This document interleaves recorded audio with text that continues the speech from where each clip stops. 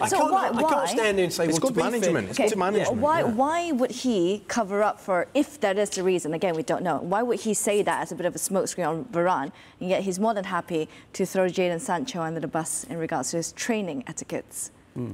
See? Two different approach. Yeah, well, it's a great, it's a great point in many ways.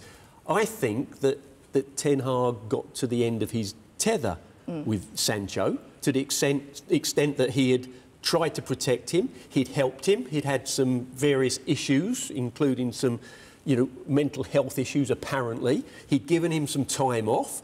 And he, come, and he still wasn't getting out of him what the player needed to do, so he tried another tactic, which was to, to actually try to give Firm, him a job Yeah. Hmm. you know, to, to, to say something that might provoke him.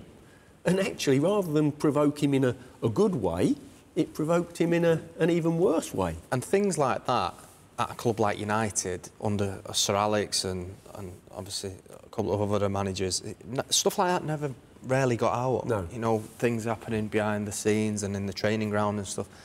Now, obviously, an incident happens on the training pitch and players are putting it on the social media and this, that and the other and it's out in the open. This, the stuff with Sancho and the manager should have been kept personal from, hmm. from day one. So you don't think he should have said anything to the media in regards? Erik, Uh, yeah, Erik should have said anything to the media. Well, I, th- I think the ma- manager's entitled to say what he wants, but I don't think the player should be coming out on social media and saying that he's, he feels that he's not training well. I just think you're opening a can of worms. I just think keep your mouth shut, go back into the training ground, train well, prove the manager that he was wrong in saying what he said about you.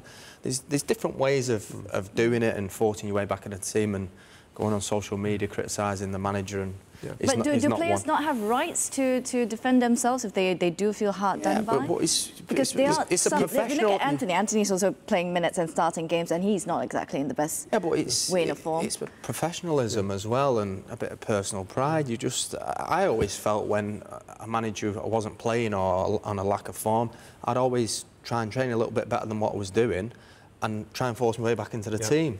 Yeah. That's exactly what Sancho needed to do. Yeah. Probably apologise to the manager, say, you know what, I'm going to prove to you that I deserve to be in your starting eleven, not get on your phone and posting tweets, Yeah. and it's not the way to do it. To use your word, Michelle, players defending themselves, your first point of defence is how you respond, in my opinion, how you train, how you behave. And if you want to take it to the second one, then that's when you go and see the manager, just you and he, and, and try to sort it out. You know, you don't go to the world on social media about it, in my opinion. Based on the current trend and the reaction of Jadon Sancho, just a quick yes or no, has he played his last game in a Manchester United shirt?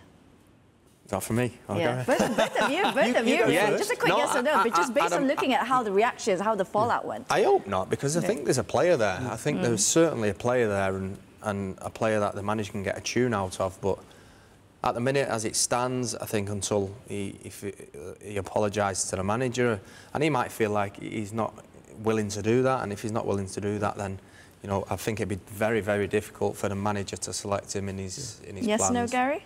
Um, no, he's not played his last game for Manchester United. I sat here a few weeks ago and we were talking about Harry Maguire, and I said that I believe Harry Maguire will play a big part in this season for Manchester United because circumstances change.